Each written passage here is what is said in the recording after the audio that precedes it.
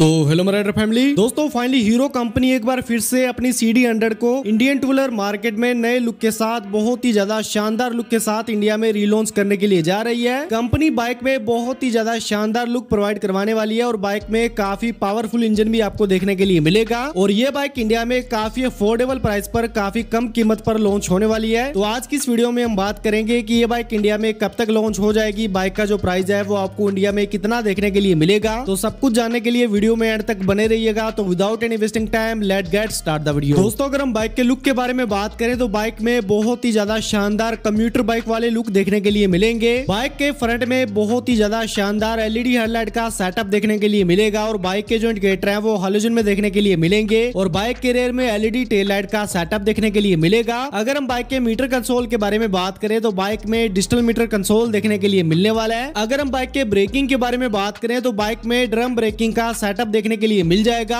और अगर हम बाइक के इंजन के बारे में बात करें तो बाइक में 110 सीसी का air cool four stroke three valve engine देखने के लिए मिल जाएगा, जो कि काफ़ी अच्छी पावर को प्रोड्यूस करने वाला है। और बाइक में four speed transmission gear box setup box भी देखने के लिए मिल जाएगा। अगर हम बाइक के सस्पेंशन सेटअप के बारे में बात करें तो बाइक के फ्रंट में टेलीस्कोपिक फोर्क और बाइक के रेयर में ट्विन शॉक एब्जॉर्बर देखने के लिए मिल जाएँगे। इसके अलावा अगर हम बाइक के फीचर्स के बारे में बात करें तो बाइक में USB charging port side stand cut off sensor और बाइक में ऑटो कट ऑफ़ जैसे काफ़ी सारे लेटेस्ट टेक्नोलॉजी फीचर आपको देखने के लिए मिलेंगे। बाइक में काफ़ी ज़्यादा कंफर्टेबल सीट आपको देखने के लिए मिलेगी। ओवरऑल बाइक में काफ़ी अच्छा डिज़ाइन आपको देखने के लिए मिलेगा। इस बाइक से आप सिटी राइड के साथ लॉन्ग राइड बहुत ही आसानी से कर पाएँगे। और ये बाइक आपकी फैमिली पर्पज के लिए भी काफ़ी ज़्यादा सुटेबल होने वाली है। अगर हम बाइक के ऑन रोड प्राइस के बारे में बात करें तो ये बाइक इंडिया में पिछहत्तर हज़ार के आसपास आपको ऑन रोड प्राइस में देखने के लिए मिल जाएगी। तो फाइनली अगर हम बाइक के लॉन्च डेट के बारे में बात करें तो ये बाइक किस साल के एंड से पहले पहले इंडिया में लॉन्च हो जाएगी। बाकी दोस्तों, इस बाइक को लेकर आपका क्या ओपिनियन है? ये बाइक आपको कैसे लगी? मुझे कमेंट बॉक्स में कमेंट कर कर बताना बिल्कुल भी ना भूलें। आज की इस वीडियो को एंड तक देखने के लिए आपका बहुत बहुत धन्यवाद। तो मिलते हैं आपसे नेक्स्ट वीडियो में। तब तक के लिए till then bye take care